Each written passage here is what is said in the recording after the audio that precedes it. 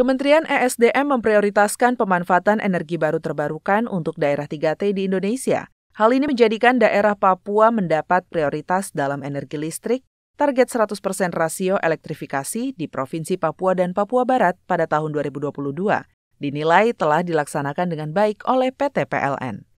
Dalam kunjungan kerja Komisi 7 DPR RI bersama Dirjen Ketenagalistrikan Kementerian ESDM beberapa waktu yang lalu, anggota Komisi 7 DPR RI Willy Midel Yosef mengatakan, tanah Papua kaya akan sumber daya alam untuk bahan baku pembangkit listrik. Hal inilah yang mendorong tingginya elektrifikasi untuk masyarakat Papua dan Papua Barat, yang saat ini diperkirakan mencapai hampir 99 persen.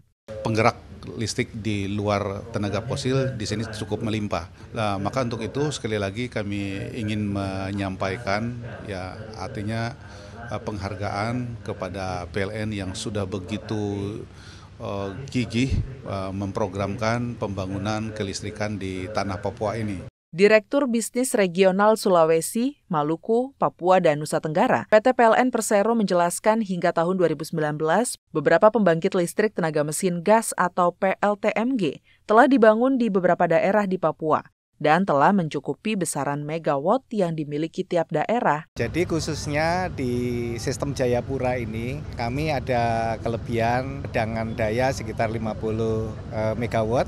Nah ini tentunya diperuntukkan pembangunan di Jayapura.